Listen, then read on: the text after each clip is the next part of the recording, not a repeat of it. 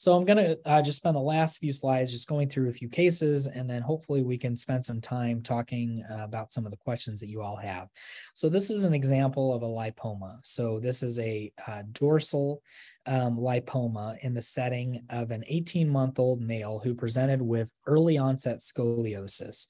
Now, he was seen by our orthopedic surgery colleagues and they did their scoliosis films. And in addition to the scoliosis, they found that there was several levels that included uh, hemivertebrae. And this, and this red arrow kind of indicates this right here and the dorsal lipoma, which is bright on this T2 sagittal image, as they uh, always are.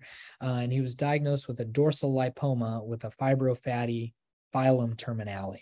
So this child not only had a low-lying conus, um, but also had a dorsal lipoma uh, and setting of scoliosis as well.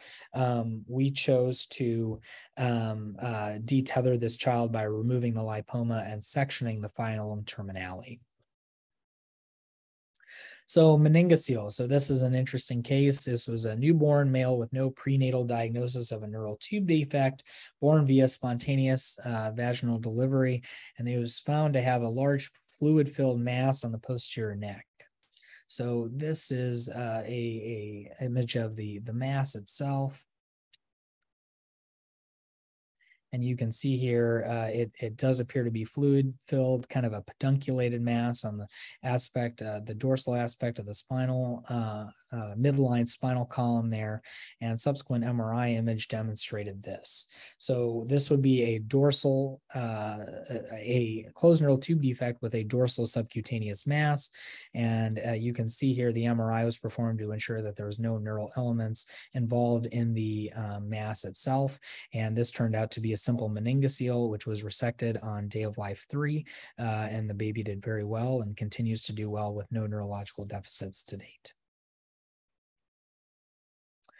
This is a, another example. This is a, a child who uh, presented to me uh, from a pediatric surgery colleague, an eight month old female with anorectal stenosis who was found to have a tethered spinal cord and a small syrinx and a fatty filum terminale on screening MRI of the L spine without contrast.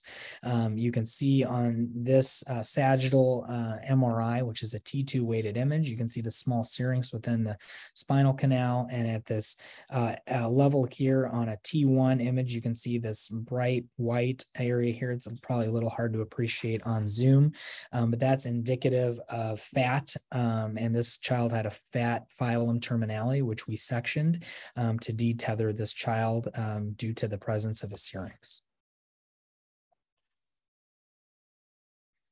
Split cord malformations. Uh, this is another closed neural tube defect that will likely present later in life, uh, secondary to spinal cord tethering.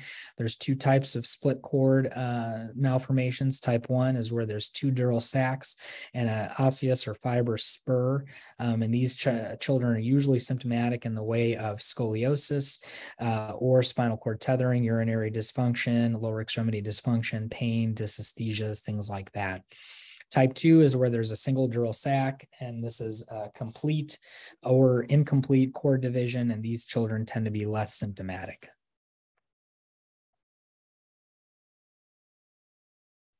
A dermal sinus tract. This is a, a closed neural tube defect that does require treatment uh, at some point, and this is really uh, to prevent uh, connection with the outside world. So this was a newborn with a dimple in the lumbar spine above the coccyx. It was uh, investigated with an MRI scan. You can see an anomalous connection here.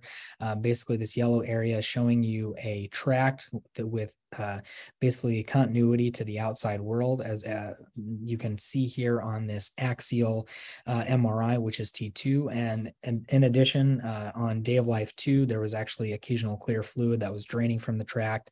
And so uh, this child was taken to surgery for obliteration uh, and removal of that tract and primary closure of the neural tube um, and defect uh, in the dura uh, and to prevent further meningitis. Everyone, Ryan Rad here from neurosurgerytraining.org. If you like that video, subscribe and donate to keep our content available for medical students across the world.